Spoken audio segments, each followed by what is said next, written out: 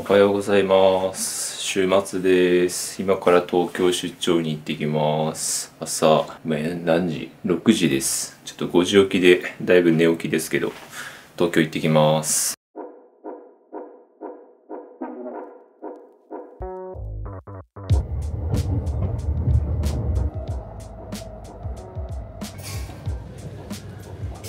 えー、2度目のおはようございますです。茨城からの特急の車内は爆睡してました。今日はこう目黒です。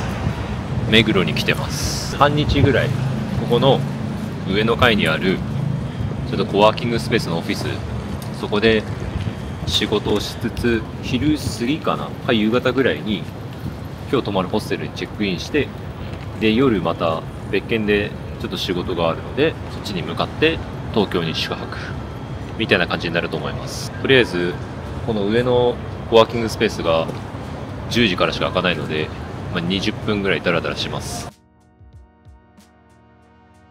1時過ぎの三軒茶屋です。夕方以降ちょっとまた仕事で会議兼食事があるんですけどその前にあのホステルにチェックインしなきゃいけないんですがでその前にお昼ご飯を食べなきゃいけないんですけどでその前にその会議に出る時の身なりとしてちょ髪型がちょっとボサボサすぎてやばかったんで移動の道中20分ぐらいで髪切ってきました。ということでちょっと今日ようやくまともなご飯にありつけます。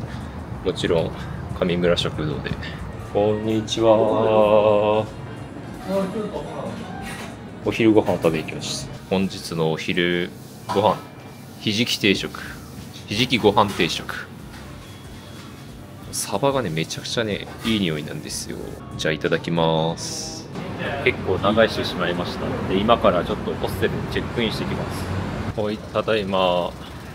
銀座線浅草駅から1個手前の駅の河原町というところにいます。今日はここのホステルに泊まります。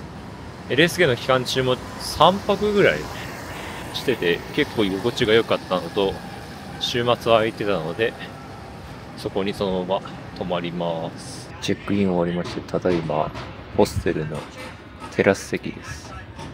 前回ほぼ寝泊まりしかしてなかったんであんまりゆっくり滞在できなかったんですけど一応ここのホステルはスカイツリーが見えるようなバルコニーというかテラス席があります。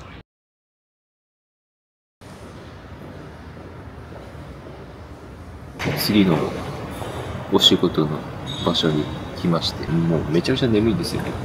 とにかく朝5時に起きたの。なんでちょっとコーヒー飲んでコーヒーとかカフェラテ飲んで目覚まします。あそうそう。あの前回の動画で蹴られの話で実際の写る写真の方じゃなくてファインダー覗いた時にフードかぶってんじゃないのって話があったんでちょっと一緒に見てみたんですけどとはいつもは普段ないんですけどね今。これ見てもらったら分かります通り実はこの段階でレンズはかぶってます。なので当然フードつけたら間違いなくファインダーの中には入り込んできます。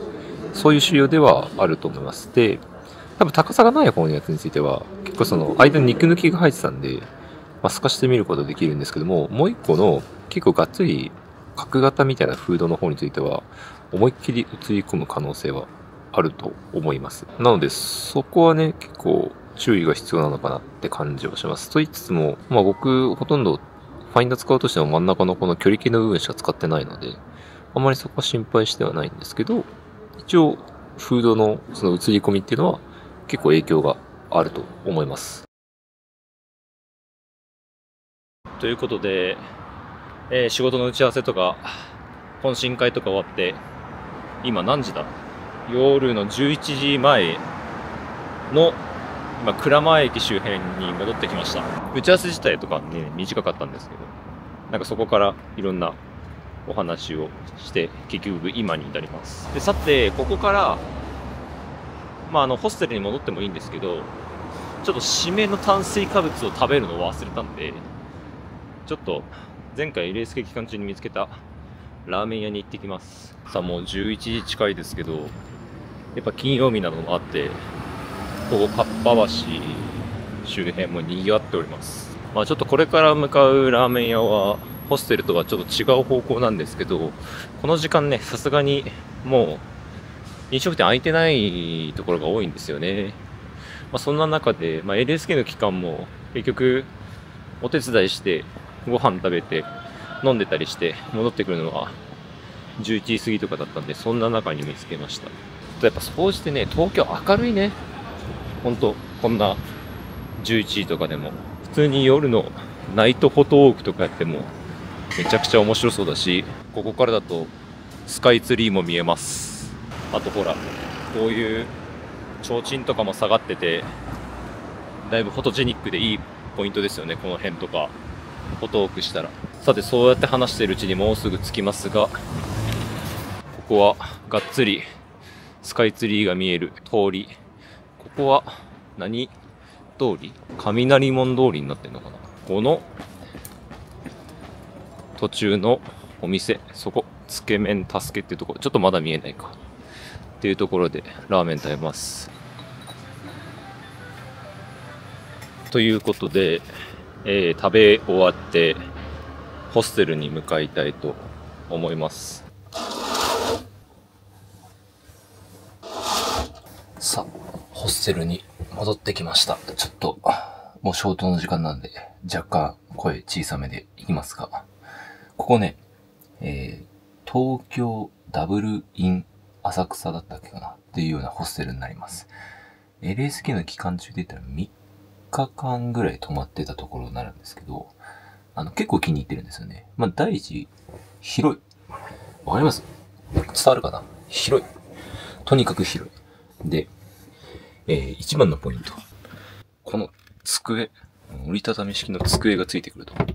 これね、PC 作業できるんですよ、ここ。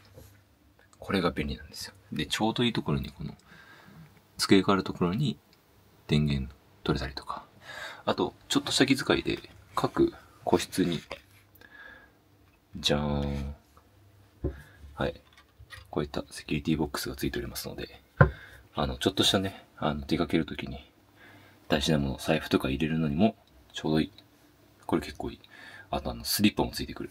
多分今回、えー、LSN の感じにいくつか、3つぐらいか、でも言っても、ホステルもあったんですけど、その中だったら、割と1、2を争うかなっていう感じのレベルです。もう1個は、また今度行けたら行きたいんですけど、秋葉原あたりにあるホステルで、そっちも結構綺麗で使い心地よかったっていうのがあるんですけど、こっちもかなり綺麗ですしね、この木の感じとか、ね、めっちゃスレスレなんですが、今日はここが4000円ぐらいか。で、週末泊まれたので、ここに泊まっています。ちょっと明日はね、高かったんでね、2泊はしないんですけど、まあそんな感じで泊まれるところで結構おすすめです。また明日余裕があれば、水回りのところとかも動画に映せたらいいなと思うんですけど、今日はとりあえずここで一泊します。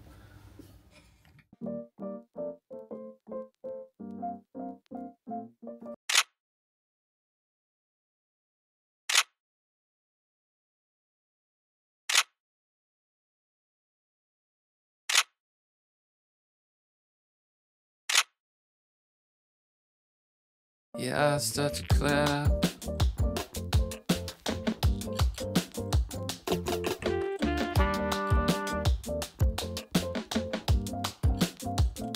And I start to clap, cause I'm feeling good.